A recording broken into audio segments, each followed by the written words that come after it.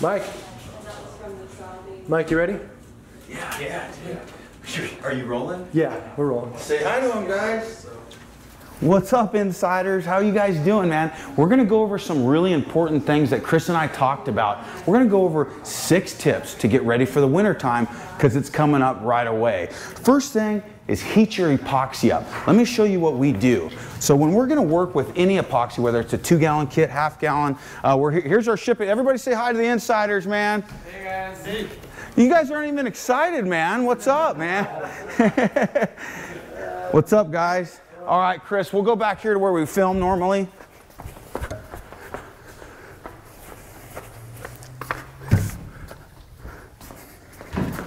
All right, so when we heat the epoxy up, we simply put it in front of a radiant heater. We'll turn that on and we let it heat up for about a half an hour just so it's nice and liquid and it's consistent. That's key is consistency. You wanna work with the same temperatures all the time, whether it's summer or winter. So if you can get it nice and warm, it really flows and performs best. That's key. All right, let's go over the next one. So we talked about heating it up. That's step one. Step two, Use a thermometer. It gives you more accurate results. Get a humidity thermometer. I think we got ours at Walmart. Super inexpensive, very reliable, and then you can keep your room up to temperature and not worry that you're not going to cure properly. Uh, let's go with number three. Oh, I got to explain this. This is, this is important. We actually have some funny stories behind this, but when you're going to mix the epoxy, uh, and you get it full of epoxy, especially in the winter, and if you haven't heated it up enough, it creates a lot more friction because it's thick. So when you go to mix it, make sure you're holding that bucket, especially a small bucket like this. If you get that full and you just start mixing, that's gonna grab and whip, and I've done that more than once. So be careful on that. Let's see, what's our next tip? Yes, hold the bucket, okay? Hold tight.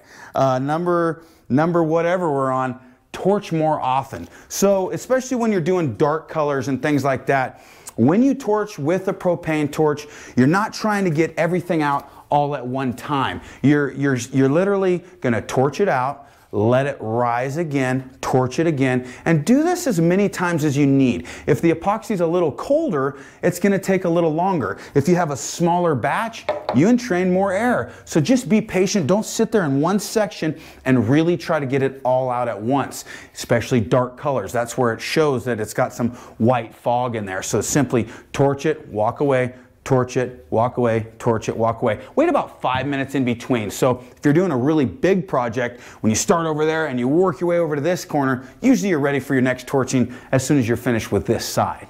That's a pro tip. All right, let's go next here.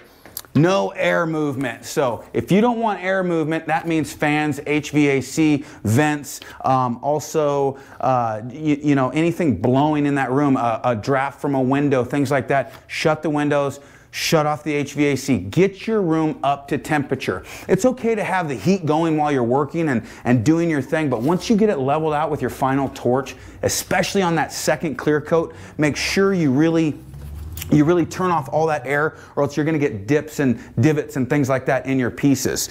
Uh, finally, keep it warm. Okay, guys? So when, uh, when you get it all set up, your, your job is perfect. You don't want to let the, the temperatures plummet and then have it cure below 60, 65 degrees. You want to keep it warm. Warmer is better. If you're going to err anyway, err on the side of warmth. How do you keep it warm without air movement? radiant heat. I hope this helps. I hope it helps you get ready for winter. Thanks a lot for all the comments, all the help, all the interaction on the Insiders group is phenomenal. Uh, if you haven't joined, guys, go see our Stone Coat Countertop Insiders group. Click join now and we're gonna get you right on that and you will not believe what people are doing the first time using Stone Coat Countertop Epoxy. Hey guys, we're gonna do this more often. Let us know in the comments below, do you like this kind of content? Are you looking for these pro tips? I'm gonna treat you just like I would if you're my buddy in my shop and you need to know how to be a pro. And until next time from Stone Coat Countertops, you got this. We'll see you soon.